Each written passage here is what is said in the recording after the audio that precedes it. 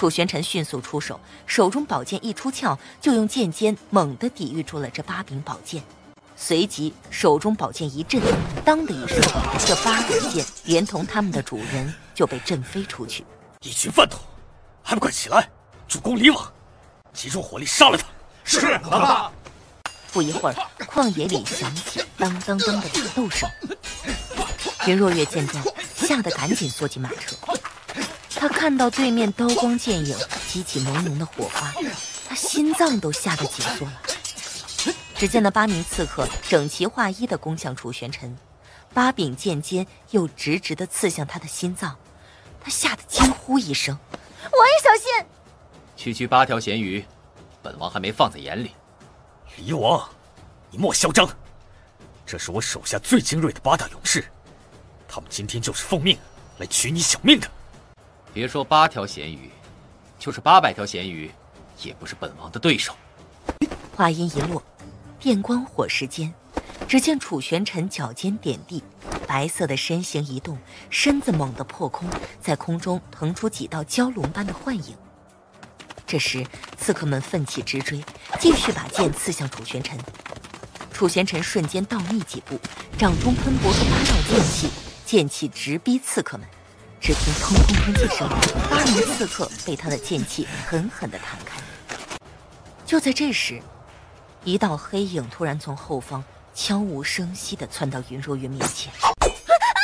我也救命！救命！李王妃，今天就算我们不杀了李王，杀了你也赚了。你们要杀的是李王，冤有头债有主，他又不宠我，他和我没关系。杀我岂不是浪费时间？哼！谁说杀你是浪费时间？你身负救治太后的重任。杀了你，太后必死。我们杀了你，自然赚大了。你们是晋王的人？这个问题，你得去地狱里问了。啊！楚玄尘正在对付剩下的四个杀手，猛地听到了云若月的尖叫声。他转头一看，只见黑衣首领已经逼近云若月。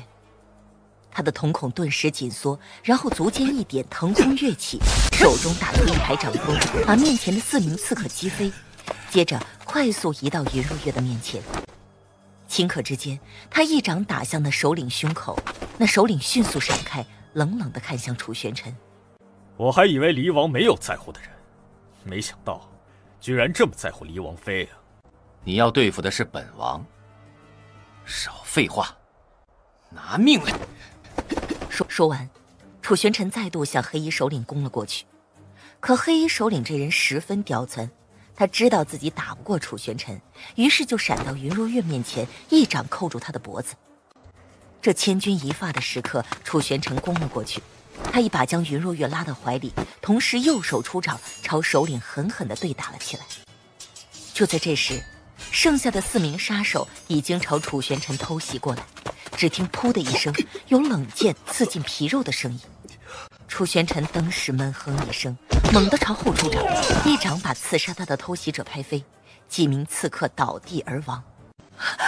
王爷，你受伤了。我知道，离王，你果然厉害。我八大高手，竟然顷刻间就死在你手上，我要替他们报仇。你拿命来！云如月，让开。王爷，你的伤口在流血，快坐下，我帮你包扎一下，不然血流尽会死的。不用，本王先杀了他再说。你，楚玄尘说完，一把将云若月推开，上前与黑衣头领对打起来。云若月看到一黑一白两道人影就在他面前对打，顿时紧张起来。以楚玄尘目前的伤势，如果再打下去，他多半会晕。想到这儿，云若月摸了把自己的布包。她怀着激动的心情，从布包里拿出那电击棒，然后按开开关，将电击棒藏在袖子里，逼近两人。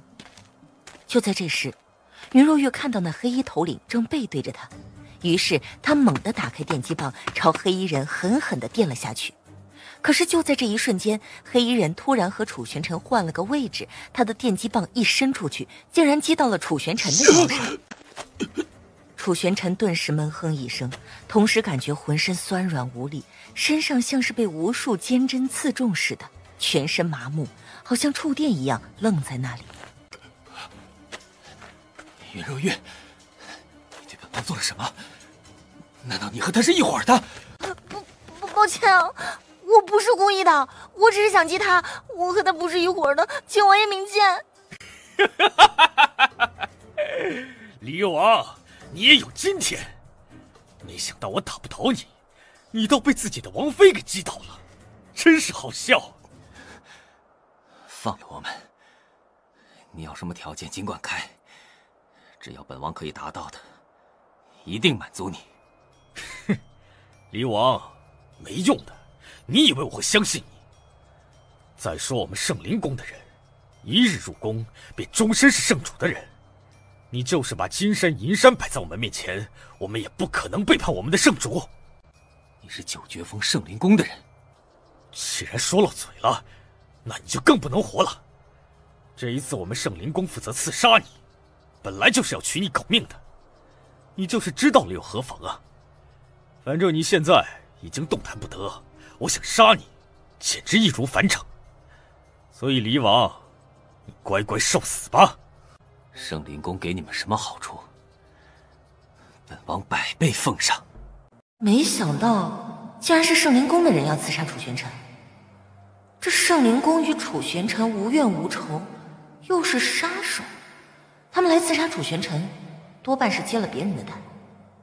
哼，而这个别人，不出意外，应该就是晋王。听闻黎王妃是出了名的丑女，没想到今日一见，竟是如此的美丽呀！老子这辈子还从来没碰过这么美又这么高贵的女人。黎王，抱歉了，让老子先爽完，再来对付你。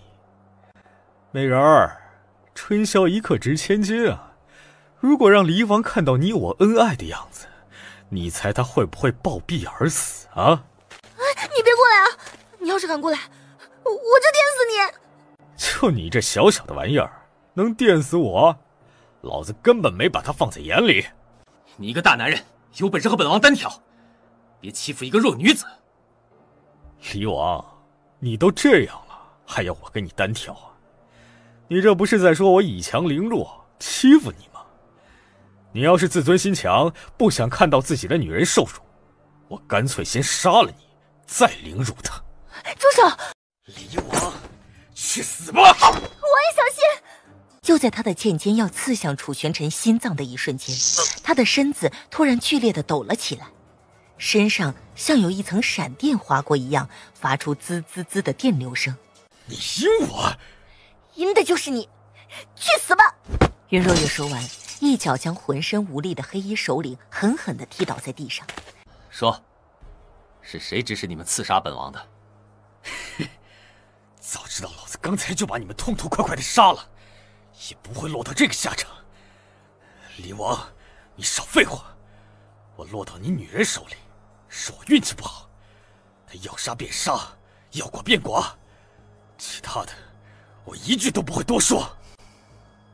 云若月，他若不说，你先砍掉他一只手。啊，王爷，我下不了手啊，我还从来没杀过人呢。你不杀他，他就会杀了我们。对敌人仁慈，就是对自己残忍。先砍掉他右手。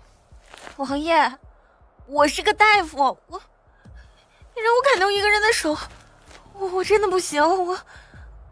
就在云若月犹豫不决的时候，楚玄尘发现，那蒙面头领的右手竟然还能动，他的手已经狠狠的捏到了一起。如果让他凝聚掌风，云若月肯定会没命的。快点，他的右手动了，等他恢复知觉，死的就是我们。你要想活命，就要狠；想要保护自己，就要比他更狠。离王妃，你不过就是离王的一个挂名王妃而已。我们调查过，他根本不爱你，他宠的是他府上的小妾。不如你向我们圣灵宫投诚，只要你愿意归顺于圣灵宫，替我们杀了黎王，我们圣主一定会好好待你的。以你的美貌和医术，你最差也可以混个圣主夫人当。哼，圣主夫人很了不起吗？我才不屑当，我还是更喜欢当黎王妃。